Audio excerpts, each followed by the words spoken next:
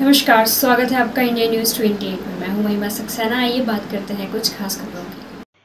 बिहार में गाड़ियों में आग लगाई, पुलिस के ऊपर पत्थर फेंके। अग्निपथ योजना का हो रहा है विरोध। अग्निपथ का विरोध कई ट्रेनों को किया आग के हवाले। अग्निपथ योजना में सेना में नौकरी के लिए चार वर्ष का समय मिलेगा। ऐसे में सेना में भर्ती होने वाले युवाओं ने विरोध करना शुरू कर दिया है। प्रदेश अध्यक्ष के घर पर हुआ हमला। घर और गाड़ी के कांच फोड़े गए। नेशनल हेड आसिफ आबदी की रिपोर्ट।